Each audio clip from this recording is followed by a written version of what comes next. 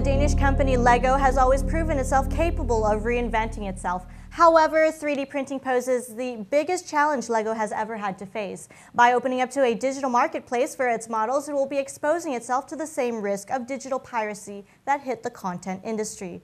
And yet, digital distribution of its toys could open up enormous new business opportunities and allow it to reach new potential customers, as it did for the content industry.